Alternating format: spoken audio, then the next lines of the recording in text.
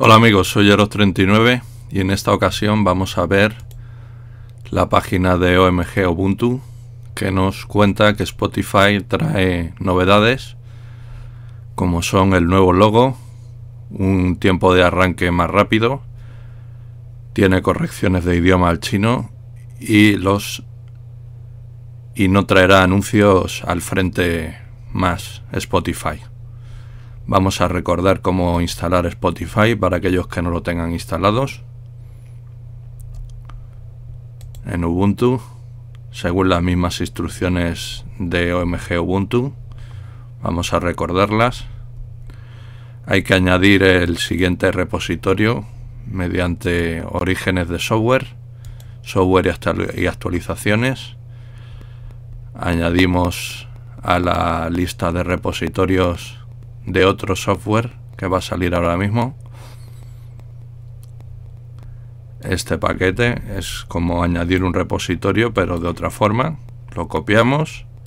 Es dev http repositorio spotify.com estable.com. Aquí en otro software le damos añadir y añadimos este repositorio http repositorio spotify estable non free. Es otra forma de añadir repositorio.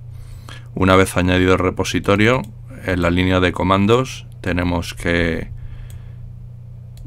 que indicarle la clave de,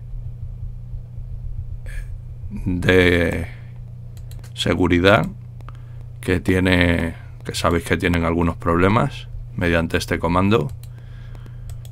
Sudo apt-key adv keyserver keyserver.com ref y un número.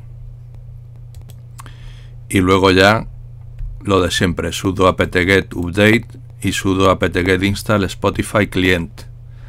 Así instalaremos Spotify y vamos a ver la nueva versión.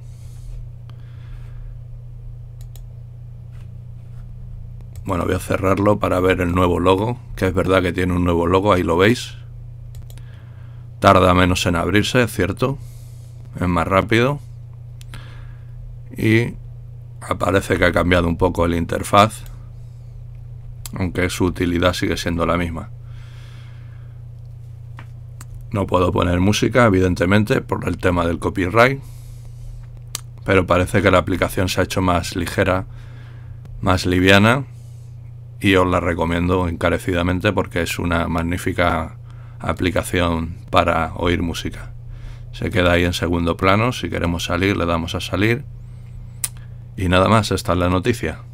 Os dejaré el método de instalación de Spotify por si no lo tenéis, volver a recordarlo. Un saludo y hasta el próximo vídeo amigos.